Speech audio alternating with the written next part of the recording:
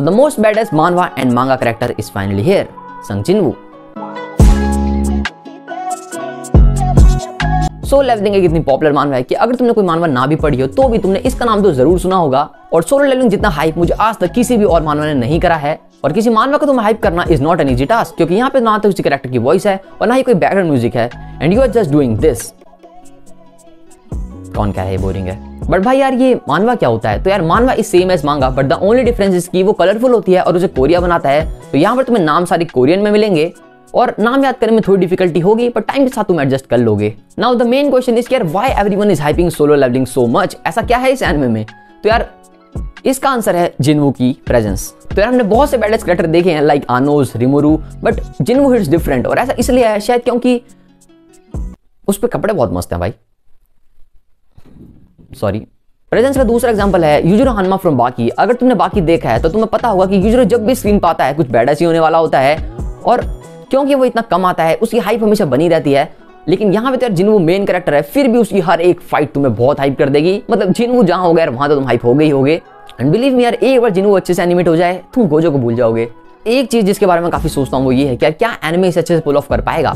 क्योंकि soul levelling fights बहुत ही ज़्यादा विजुअली अपीलिंग होती है तो, तो उतना ज़्यादा कलरफुल बनाना वेल इसे ए स्टूडियो एनिमेट कर रहा है और उसने काफ़ी अच्छे एनिमे एनिमेट करे हैं लाइक प्लंडरर मागी सेवन डेलिसेंस ये वाला नहीं सीज़न वन और टू जो कि एक्चुअली बेस्ट है। एक और प्रॉब्लम जो मानवा के साथ होती है, वो ये है कि यार एनिमे में कुछ पार्ट मानवा के कट कर देते हैं और वो ऐसा इसीलिए करते हैं क्योंकि उनको अपने 12 एपिसोड में अपनी टारगेटेड आर कवर करनी होती है। तो ए वन स्टूडियो कान खोल के सुन लो। सो लेवलिंग में तुमने कुछ कट करा। तू मैं हूँ रो दूँगा। यार एपिसोड वन की एनिमेशन तो मुझे काफ़ी बढ़िया लगी। मेन चीज़ तो है के एक्शन के टाइम में पता चलेगी। सीज़न वन में टोटल बारह एपिसोड होने वाले हैं और एक एपिसोड अप्रॉक्स पाँच चैप्टर कवर करता है। एक चैप्टर कम ज़्यादा हो सकता है डिपेंडिंग ऑन द कंटेंट तो सीज़न वन के एंड तक हम चैप्टर सिक्सटी तक कंप्लीट कर चुके होंगे। हम क्यों कह रहा हूँ मैं? वो तो एनिमे स्टूडियो करेगा। वेल well, तो हम डीमन कासल आग तक पहुँच चुके होंगे।